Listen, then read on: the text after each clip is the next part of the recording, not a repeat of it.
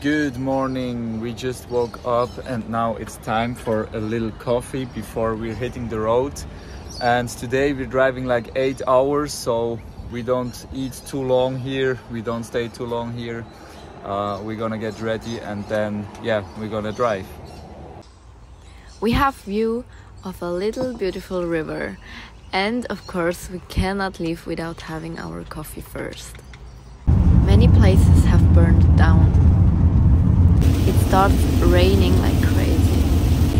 Not what we expected from Australia.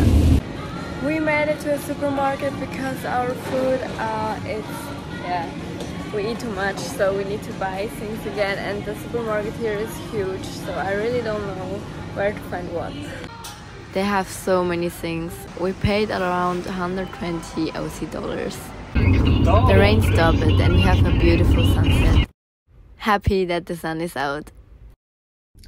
After a long day of driving, so we drove around seven and a half hour, we made it to Proserpine, but the camp or the rest area that we're gonna or wanted to stay for um, this night should be free but it's closed.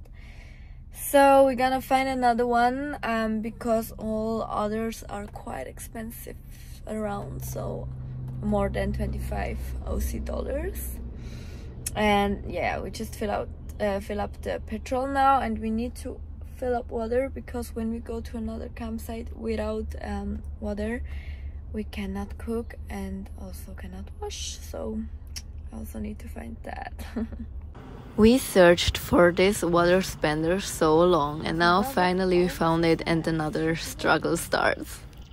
We found the water hole. Oh my god, what a mess. We are in a little village called Proserpine. It's uh, next to the Great Barrier Reef actually.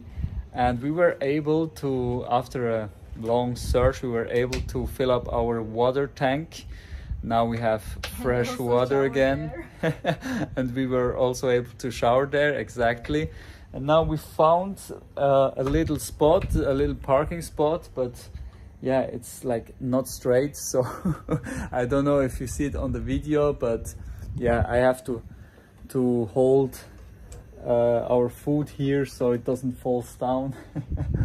And yeah tomorrow we're gonna do a tour to the Whitsundays beach and yeah looking forward for that. So keep you up to date for tomorrow